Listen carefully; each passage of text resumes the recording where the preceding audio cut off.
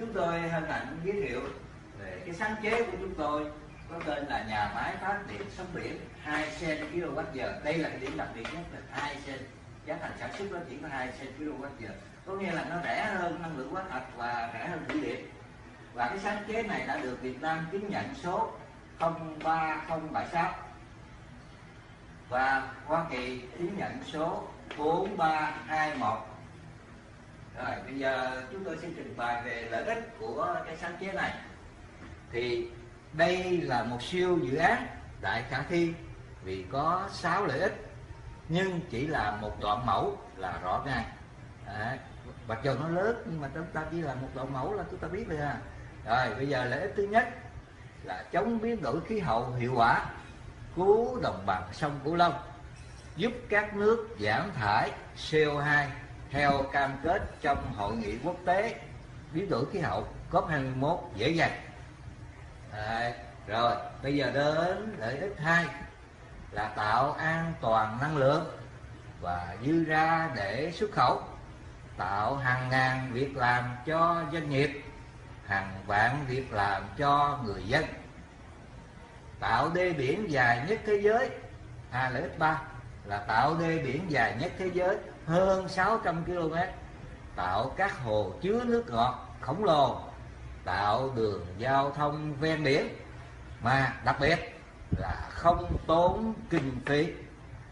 Giữ được đất giữ được người và giữ được nước và giữ được con người. Đây, cả ba cái giữ được đất giữ được nước và giữ được con người. Đấy. lợi ích thứ tư tạo thêm nhiều đất thành phố Hồ Chí Minh đồng bằng sông Cửu Long không còn bị ngập nước vẫn an toàn khi nước biển dâng và đất bị lún xuống dưới mực nước biển. Lợi ích năm không đền bồi giải phóng mặt bằng. À đây là cái vấn đề lớn cho cái người mà thực hiện nè cái này quan trọng nè. Đấy, không có phải đền bồi giải phóng mặt bằng gì cả. Đấy. rồi thứ sáu mà giải phóng mặt bằng là cái cái cái chuyện lớn, cái trở ngại lớn, cái khó khăn lớn cho cái nhà đầu tư đó. Rồi, lợi ích sáu, nhà đầu tư thực hiện dự án này đạt lợi nhuận cao. À các điểm này sẽ được giải thích sau này. Rồi, bây giờ là tại làm sao mà đạt được những lợi ích này thì do cái cấu tạo và cái nguyên lý hoạt động của cái sáng chế này. Để sáng chế nhà máy phát điện kèm sóng biển 2 kWh đó. Rồi, thứ nhất tôi chúng tôi sẽ trình bày về cấu tạo và nguyên lý hoạt động. Đây là công nghệ phát điện sóng biển nhưng khác. Ở chỗ công nghệ hiện nay của các nước thì gồm chỉ có một bộ chuyển đổi năng lượng sóng biển thành khí nén làm quay tuột pin máy phát ra điện giá thành là 8 đến 10 sen một kWh à, hơi cao đó thành ra là chưa có được ứng dụng nhiều đó là cái hiện nay mà các nước đang sử dụng đó còn trong công nghệ mới của chúng tôi có tới hơn 10 bộ chuyển đổi năng lượng là cái loại mà theo công nghệ OWC, SDE, Pendulo, Menti Floating, Belamid, bông thông divide Đấy, 10 bộ này á, là nó gồm có nằm ở trên hầm và trên các dãy nhà nổi gần đó. Cung cấp khí nén cho hầm chứa khí nén tổng hợp này rất mạnh và ổn định sẽ đưa tới làm quay tụ pin máy phát điện. Tất cả đặt như đê biển song song và cách bờ 1 đến 5 km. Tùy chỗ, sao cho mực nước lúc thấp nhất vẫn còn 1 đến 2 mét. Đê biển này tạo nên đất bồi tự nhiên. Đó, bây giờ sơ lược tôi nói lại chút là cái công nghệ hiện nay nó chỉ có một cái bộ chuyển đổi năng lượng thành sóng biển thôi rồi nó nó tạo thành khí nén là nó quay cái tuột pin máy phát ra điện. Đó, có một cái à. Trong khi cái của chúng tôi là 10 cái nó nằm trong cái hầm chứa nó nó nó đưa cái này, biến năng lượng sóng biển chuyển vào trong cái hầm. Nhờ vậy mà nó rất là mạnh rất ổn định. Rồi. Đó cái điểm đặc biệt á điểm đặc biệt mới của công nghệ của chúng tôi đó. Rồi bây giờ là tại sao giá thành chỉ 2 sen kWh đó đó là cái điểm đặc biệt đó đó là mục tiêu á. À, bây giờ mà không sử dụng năng lượng quá thạch nữa thế mà một cái năng lượng tái tạo cái năng lượng mới mà cái giá thành nó cao hơn cái năng lượng đó thì làm làm làm làm, làm ờ, thúc lùi cái nền kinh tế của quốc gia đó. Người dân cũng vậy cũng khổ. Tiền điện phải lớn. Đấy, rồi nhà máy sản xuất đồ này nó phải sử dụng điện. Thì giá, giá điện nó lên cao thì, thì, thì giá thành của sản phẩm cũng bị lên cao. Đấy, bây giờ nói chung là cái cái mục tiêu chính là tại sao giá thành chỉ 2 cent kWh à thu nhiều khí nén nên phát ra nhiều đợt điện hơn 10 lần công nghệ điện sóng biển của các nước hiện nay. Rồi b bán điện được giá cao nhờ có hầm chứa tại lại bán vào giờ cao điểm. À, đúng cái nhu cầu đúng cái thời điểm mà nhu cầu cao c. Nhà máy sản xuất một lúc hai loại năng lượng. Ngoài bán điện, còn bán khí nén cho các nhà máy nhiệt điện khác vì rẻ và sạch hơn, cũng như là những nhà máy nào mà sử dụng, giờ chuyển qua sử dụng khí nén đi. Đấy. rồi, D. Bán đất bồi tự nhiên nhiều lần. Cứ vài năm, đất bồi ổn định, lại dời nhà máy ra vài km, chờ bồi tiếp bán tiếp. Đây là một nguồn thu lớn góp phần làm hạ giá thành sản xuất chỉ còn 2 sen trên kWh ví dụ như là đê biển Bình Minh 1 đấy, nó tạo thành một xã. Đê biển Bình Minh 2 đê biển Bình Minh 3 đấy, ở Kim Sơn Ninh Bình nó tạo thành nguyên một cái huyện luôn đó hay là đê biển Đà La, à, Hà Lan. Hà Lan thì nó làm là tạo được tới hai tỉnh rồi. Thì chút nữa có cái hình sẽ sẽ giải thích rõ hơn. Rồi đê biển song song Si Balin ở nước ngoài đấy rồi bây giờ tới điểm thứ ba là thực hiện mẫu một đoạn tại thành phố Hồ Chí Minh. Bây giờ cụ thể là là nếu mà nhà đầu tư thực hiện một đoạn mẫu để thể hiện được toàn bộ dự án này là ờ, làm được và, và và tạo những lợi ích như đã trình bày thế thì bây giờ các nhà máy điện này làm ở thành phố Hồ Chí Minh thì phải làm sao? Làm tại đâu? Các nhà máy điện này thành một đê biển song song bờ biển Cần Giờ. Đó. thì hiện nay bờ biển này đã được bồi lấp tự nhiên là 80 phần trăm rồi chỉ cần cải tạo sơ rồi bán nền. Đây, giống như đề biển Thái Bình họ lấy họ làm khu công nghiệp á hay là các chương trình lấn biển. Đấy nhiều cả nước mình nhiều còn nước ngoài thì nhiều lắm. Đó họ lấn biển bằng cách họ phải quay đê. Nó lấn biển được chứ thì cái những nhà máy của mình đó nó nằm dài thành như một cái đê. Đấy. ví dụ như bây giờ các chương trình lấn biển mà ở rạch giá đó đây thì hiện nay họ bán cứ họ lấn biển là tạo ra đất vậy họ bán là 5 triệu một mét vuông. Đầu tiên 2 triệu nay tới 5 triệu rồi rồi bây giờ cái quan trọng hơn nữa nè là thực hiện mẫu một đoạn tại đồng bằng sông Cửu Long nè. À, đây là cái mục tiêu chính lớn nhất là của Việt Nam mình đó là cần phải cứu đồng bằng sông Cửu Long đó. Là phát điện theo công nghệ mới này giá thành chỉ 2 cent kWh rẻ hơn cả thủy điện nữa. Đấy, còn năng lượng hóa thạch thì đương nhiên rẻ hơn nhiều rồi nên bán điện cho công ty điện đạt siêu lợi nhuận. À, bây giờ nhà đầu tư làm có lợi quá thì thấy vậy thì nhiều doanh nghiệp khác cùng là nối tiếp nhau thành một con đê biển đa dụng dài nhất thế giới hơn 600 km bao bọc bảo vệ đồng bằng sông Cửu Long. Chút nữa có hình ảnh gì giải thích rõ hơn? Đó, minh họa rõ hơn. Bây giờ thứ năm là ví dụ thực hiện tại Đồng Nai. Vì lợi ích của Đồng Nai và chung cả nước và nhiều nước khác thì liên kết dùng lập văn phòng thành để xây nhà máy công nghệ mới này tại bờ biển Cần Giờ. Đấy, bây giờ chúng tôi xin trình bày tiếp này là, là là về các cái hình ảnh để mà minh họa thêm nè bây giờ các bộ chuyển đổi năng lượng sóng biển thành khí nén đặt trên hầm chứa như đê biển song song là gồm những cái loại nào nè? Đấy, loại này là đó giống là là OWC à, rồi loại này là SDE rồi loại này là Pendulum. Đấy, những cái công nghệ này là nước ngoài họ có làm rồi. Đấy, riêng từ cái thôi.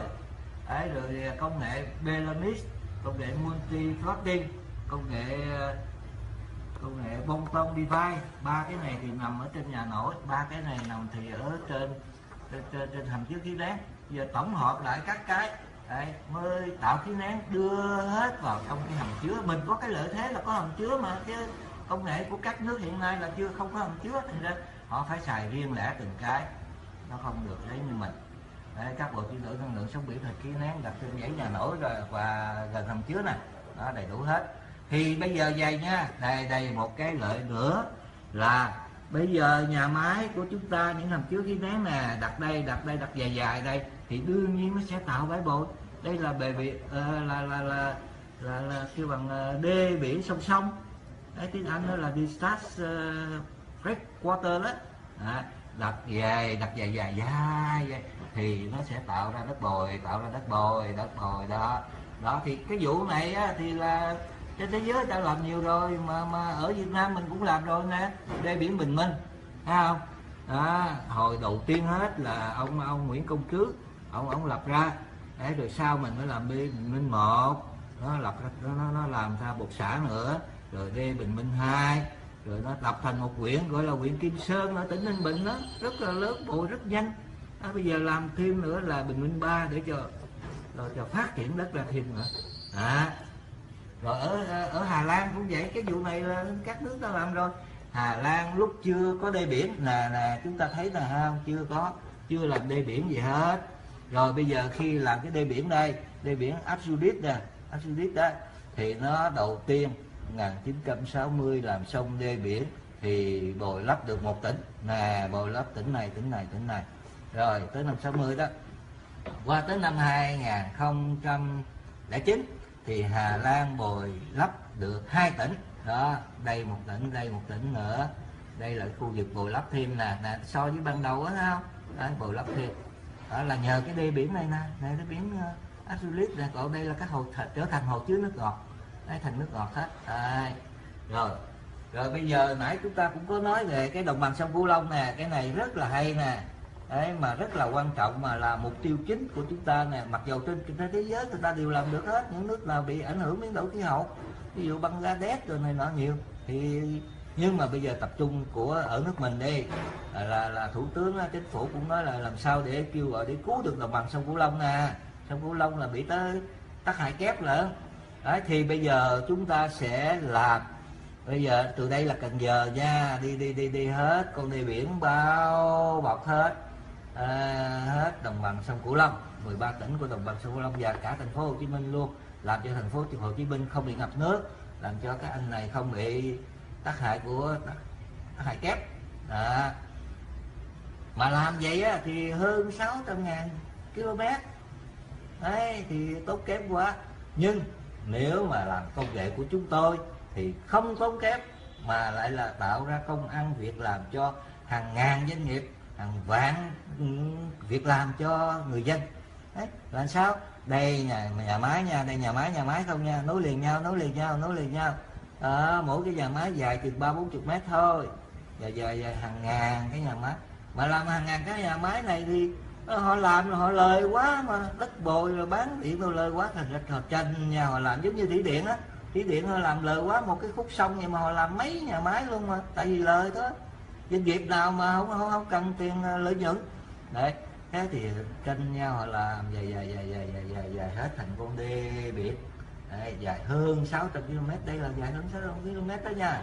Đấy mà không nhà nước không có tốn tiền. Mà doanh nghiệp á, thì có công ăn việc làm người dân có công ăn việc làm à, mà đạt được lợi nhuận cao nó được vấn đề đó. quá hay rất hay, rất hay. Này bây giờ mô hình làm rõ hơn nữa nha. Mô hình nữa minh họa thêm nữa bây giờ cái hầm chứa mình nè. Hầm chứa mình mà nãy nói đó. Đó trên hầm chứa phía trước đây là sóng biển ờ, đẩy vô nha sóng biển đẩy vô. Đó thì cái hầm chứa mình là ở trên hầm chứa không mà đã ba loại công nghệ rồi. Ê, mấy công nghệ các nước làm gì được. Đây pendula đó sóng biển đẩy vô. Đây, rồi OWC rồi SDE SDE trong này. Đó trong này nó nó, nó, nó, nó sóng biển nó làm lên xuống lên xuống vậy nè cái giống như cái bơm vậy nó tạo khí nén dẫn vô đây dẫn vô hầm chứa khí nén nè mình có cái hay nhất là có cái hầm chứa khí nén rồi bây giờ các dãy nhà nổi hai bên nè hai bên là không đó những nhà nổi này nó cũng vậy cũng phập phiều phập phiều lên xuống do sóng biển thì chúng ta dùng công nghệ multi floating công nghệ belamus công nghệ Bonton Levi nó tạo ra khí nén khí nén dẫn vô dẫn vô chạy vô hầm chứa khí nén rồi khi nào cần phát điện phải không? Đó, thì ta thu hút được rất nhiều khí nén rồi. Thì khi nào phát điện cái mở van ra mở van hầm chứa ra cho khí nén thoát ra nó đẩy tục pin vào. Và và và motor nó nằm ở sau đó, nó làm cho quay tục pin motor và máy phát điện phát ra điện. Đấy. còn đây là bờ biển nha. Bờ biển nè còn cái của mình là là đặt cách bờ biển nha 1 đến 5 km nha tùy theo chỗ đó thì nó sẽ tạo thành bãi bồi. Đây đây lâu ngày. Đầu tiên nó là là, là biển. Đấy. lâu ngày. Vài năm thôi nó sẽ lấp liền là hết. Đầu tiên nó trở thành là giống như cái rừng ngập mặn vậy. Đây là đất. Nhưng mà chúng ta không có dùng dùng rừng ngập mặn mà chúng ta dùng đất nông nghiệp. Đấy rồi chúng ta mới tháo nước ra. Đấy rồi làm thành đất thổ cư ờ, đất công nghiệp thành các ờ, khu kinh tế biển á để, để, để, để cho người ta làm tùy tùy nhu cầu thấy không? Đấy và cái cái cái cái cái cái nguồn lợi đó nhà đầu tư này sẽ rất có lợi. Tiếp theo là phương án kỹ thuật và kinh tế một đoạn mẫu. À, cái này nó là một cái chuyện lớn nhưng mà chỉ cần làm một đoạn mẫu thôi là thể hiện ngay liền. Cho để cho thấy rõ dễ làm và lời nhiều để nhà đầu tư khác cùng làm đến hoàn thành. Phương án kỹ thuật nè tức là à, đề xuất cách làm. Lập nhà máy phát điện theo công nghệ mới này tại bờ biển Cần Giờ thành phố Hồ Chí Minh như các đoạn đê biển song song với bờ nhờ vậy tạo bãi bồi dùng bơm nước làm khô bãi bồi này làm thành đất canh tác đất ở. Thì cách làm như là cách của à, Hà Lan đó rồi các đoạn đê biển kiên cố này là một hầm kính dùng chứa khí nén bằng bê tông cốt thép mặt trên đường thiết kế cho đường xe chạy, mặt hướng ra biển gắn ba loại bộ chuyển đổi năng lượng sóng biển, thành khí nén do các bơm thủy lực đưa vào tích trữ trong hầm khi cần phát điện cho thoát ra đẩy tuột pin quay máy phát điện. Lưu ý, vài năm sau, khi đất bồi lần một tương đối ổn định, sẽ dời nhà máy ra xa bờ thêm vài km để nhà đầu tư bán tiếp, nên thêm thu nhập do bán đất bồi tự nhiên lần hai. À, bán lần hai. À, vì vậy sản xuất theo sáng chế này rẻ hơn loại rẻ nhất hiện nay là thủy điện. À, là ba thủy điện hiện nay là khoảng 3 sen kWh từ đó nhiều người không sản xuất điện bằng hai loại điện này nữa.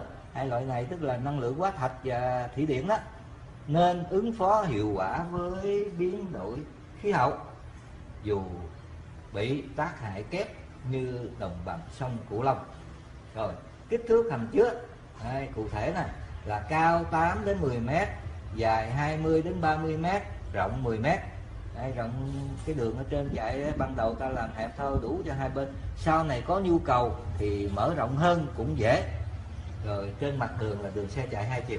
Đây, 10 mét tạm cho xe chạy hai chiều đi. Rồi tiếp theo đặt tại vị trí nào? Sang bằng trước rồi cách bờ 200 ngàn mét hay là dài hơn nữa, thì hay xa hơn nữa. Chỗ nào khi mực nước thấp nhất vẫn còn khoảng 2 mét. Đó, có nghĩa là điều kiện tiên quyết nó là cái chỗ đó, thì khi nước thấp nhất cũng phải là còn lại là khoảng 2 mét. Kích thước nhà nổi đủ một gia đình ở và bảo trì hệ thống. Gia đình này là ở đó bảo trì hệ thống, chuyển đổi năng lượng, đặt tại chỗ cách mặt trước cách hầm là 550 đến 100 mét, tức là gần hầm đó. Để cho ống đường ống dẫn vô cho nó gần, dẫn khí nén vô á. Rồi, chỗ đặt tuột pin và máy phát điện thì cạnh hầm chứa. Cái này nãy mình cũng có trong mấy rồi đó, cũng có nói rồi. Đúc hầm bê tông, bây giờ cách làm nè. Đúc hầm khí nén bằng bê tông, cốt thép nha. Tại nơi thấp hơn mực nước, gần bờ sông biển. Đúc xong tháo bờ cho nước vào hầm nổi lên, rồi kéo ra chỗ đã định lúc này mực nước cao. Khi nước rút xuống, hầm bê tông chạm, hạ thấp xuống thì chạm đáy biển. Lúc này hầm được neo thật chặt, kiên cố. Dù biển có bão, cũng không nổi lên hay nghiêng ngả các bộ chuyển đổi năng lượng sóng biển thành khí nén được ghép vào sau khi đã đặt hầm bê tông vào đúng chỗ và trang trí đẹp để phục vụ du lịch rồi, bây giờ cách làm là như vậy, giờ ta tính về vấn đề tiền bạc như thế nào nè, vốn liếng làm sao nè. Đó là bây giờ là phương án kinh tế. Thì cái này là theo tạm tính của công ty tư vấn xây dựng, có thể cộng trừ do vật giá. Đấy, có thể lên xuống nha, chứ không nhất quyết gì đâu. Phần chi ra, thì số 1 để làm một hầm chứa bê tông cốt thép dài 30 m rộng 10 m thì chi phí là 900 triệu. Điểm thứ hai để làm hai dãy nhà nổi 6 căn chi phí là 240 triệu. Điểm thứ ba để làm 10 bộ chuyển đổi năng lượng sóng biển thành theo 6 kiểu trên là 100 triệu. Số 4 chi phí tiếp thị phát sinh các loại đây là 10 phần trăm. Hoặc là có thể hơn nữa cũng được không sao là ba 130 triệu. Đây, tổng cộng 900 triệu cộng 240 triệu cộng 130 triệu bằng 1270 triệu tức là 1 tỷ 270 Đấy. rồi cái cái phần chia ra này nha. Thì bây giờ nếu mà có phát sinh ta thì chúng ta đã tính là phát sinh 10 phần trăm nè. Nhưng mà lời nhiều lắm bây giờ phát sinh có 100 phần trăm cũng còn lời cao lời nhiều. Đấy, tại sao? Là phần thu vào nè. Đấy, thứ nhất là do bán đất bồi tự nhiên bồi lần nhất rộng 30 m dài 100 1000 m thì bán rẻ, tức là là là cái cái hầm chứa này mình đặt cách bờ là là một cái số hay là một ngàn mét đó thì đất bồi bây giờ đất bồi được thì chúng ta bán rẻ dưới giá một triệu đồng một mét vuông thôi. Số tiền thu được đã là 30 tỷ rồi. Trong khi giá đất dùng chỗ lân cận gần đó đó, hiện nay tại Cần Giờ là 3 triệu mét vuông và còn đang hơn nữa đó. Có chỗ lên tới 5 triệu rồi đó nha. Chúng ta bán triệu thôi. Mình tính rẻ đi mà cho nó dễ. Do hầm chứa khí nén còn là đê biển song song nên tạo bãi bồi à, tại sao có đất là vậy đó? Còn thu tiền được do đất bồi lần hai thì ta tính sao? Tức là không cần tính. Nhiêu đó là lời nhiều lắm rồi. À, vì người mua còn phải cải tạo sơ thì mới dùng được. Mới mới bán rẻ đó. Rồi do bán điện nhiều hơn loại hiện nay 10 lần à, và bán được giá cao. Đây là nguồn thu lớn lâu dài bán công ty điện lực đó nha. Và cái này ta cũng để tính sau đi. À, tại cái phần kia là đã lời lắm rồi. Rồi do thu phí đường giao thông trên mặt hầm chứa cũng để tính sau luôn này có nghĩa rằng là kết luận á kết luận. Kết luận tổng cộng phần chi ra 1,3 tỷ đồng chỉ tính phần thu do bán đất bồi một lần. Đã là 30 tỷ chi ra có 1,3 mà bán đất bồi lần thứ nhất là đã thu vào đã 30 tỷ rồi. Lời 28,7 tỷ. Đó là chưa tính bán đất bồi lần hai rồi tiền bán điện rồi tiền do đường giao thông rồi phần hỗ trợ ưu tiên một của nhà nước và các ờ, ưu tiên một các chương trình về biến đổi khí hậu năng lượng của nhà nước. À nhà nước có cho Ờ, các cái nghị định thông tư là, là hỗ trợ tối đa cho các chương trình năng lượng sạch và năng lượng ờ, về vấn đề biến đổi khí hậu.